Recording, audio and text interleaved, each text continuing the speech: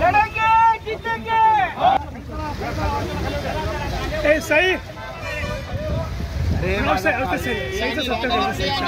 ए पुतण्या पुतण्या.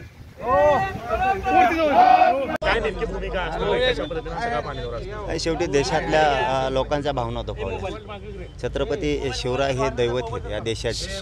आणि एवढ्या मोठ्या स्मारकाचं असे दुर्दैवी घटना होणं ही आमच्यासाठी खूप आम्हाला दुखावलं आमच्या खूप भावना दुखावल्या त्यामुळं. आमचं एकच म्हणणं आहे की याच्यात राजकारण कोणी आणू नका. छत्रपती शिवरायांचा वापर तुम्ही राजकारणासाठी नाही करायचा. शेवटी हे जनतेच्या अस्मितेचा प्रश्न आहे या रयतेच्या अस्मितेचा प्रश्न आहे. अठरा बगड जातीच्या लोकांच्या अस्मितेचा प्रश्न आहे. तुम्ही त्याच्यात राजकारण करू नका. तुम्हाला खूप जागा आहेत राजकारण करायला. मग तो कोणताही पक्ष असू द्या. तो महाविकास आघाडी असू द्या किंवा ती महायुती असू द्या. तुम्ही त्याच्यामध्ये राजकारण करायचं नाही. फक्त आमचं एकच म्हणणं आहे की जो कोणी आहे ना त्याला कायमच्या जेलमध्ये टाकलं पाहिजे. हे बघा महापुरुष कुठलेही असू द्या. अशा जर घटना घडल्या तर तो माणूस सुटायला का कामा नाही तो सुटलाच नाही पाहिजे. चार दिवस आठ टाकला पाचव्या दिवशी बाहेर आला हे आम्हाला मान्य नाही. आणि तुम्ही राजकारण सगळ्या राजकीय पक्षांना बंद करा.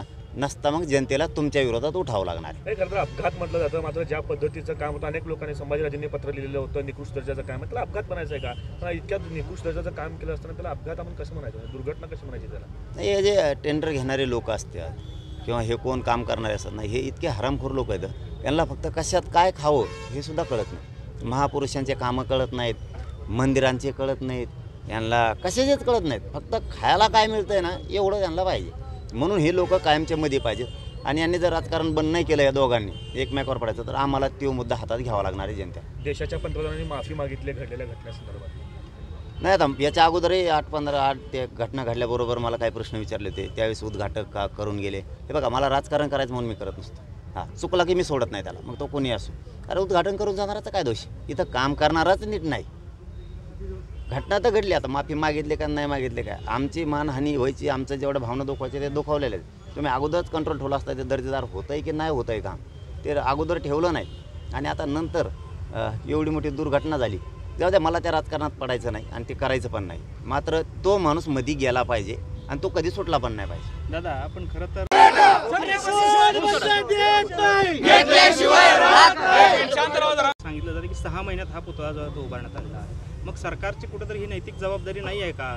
की अशा पद्धतीने आपण फक्त उद्घाटनासाठी घाई गडबड करून पुतळ्यांचे हे देतोय परवानगी देतोय किंवा पुतळे उभारतोय? तर ह्यावर कुठेतरी निर्णय झाला पाहिजे कायदा झाला पाहिजे की नाही?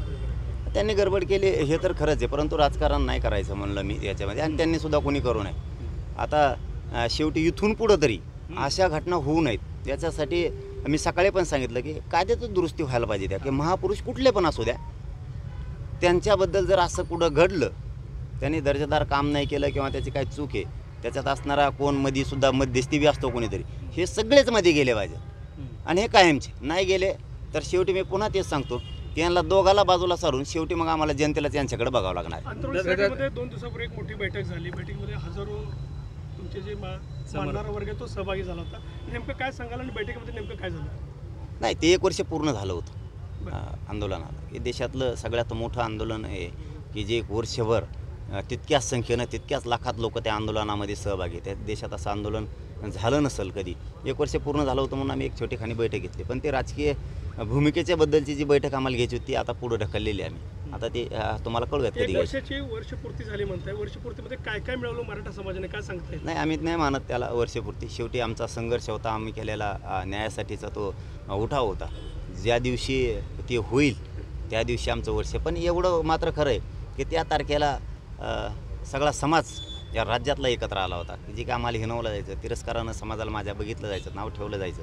एक होत नाही अमुक तमुक. तर त्या दिवशी समाज राज्यातला एक झाला होता आणि त्याला एक वर्ष पूर्ण होऊन आताही तो संघर्ष आणि तो लढा सुरूच दादा आरोग्यमंत्र्यांनी काल एक विधान केलेलं आहे की शेतकऱ्याचे अवकात काढलेले आहे. खरं तर न्याय मागण्यासाठी हा शेतकरी त्यांच्याकडे गेला होता मतदारसंघातला होता. त्यांनी ते स्टेटमेंट दुरुस्त करायला पाहिजे.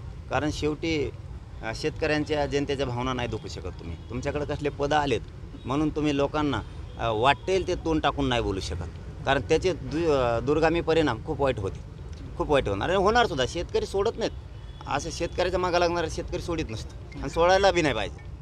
मुख्यमंत्री एकनाथ मराठ्याचं रक्त आहे शेतकऱ्यांसाठी का? सुद्धा मी पुढे अशा येतोय. पद्धतीचं वादविवाद असं होतं म्हणताय. संजय राऊत करतायत. कशा पद्धतीने म्हणताय? नाही ते त्यांचं राजकारण आहे. ते आता आपण काय त्यांचं बोला ते दोघं एकामेकाला उत्तर देतील.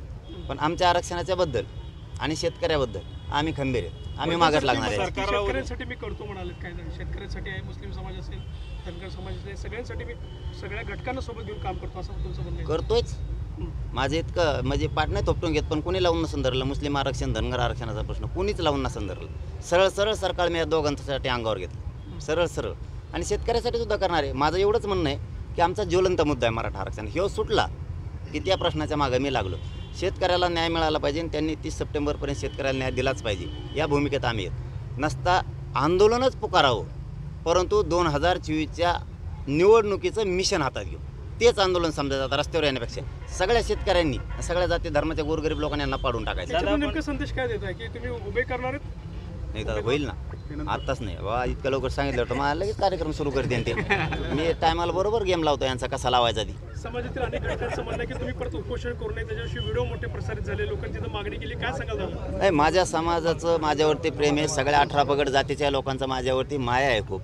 मी त्यांची भावना समजू शकतो परंतु मी पण माझ्या स्वार्थासाठी करत नाही.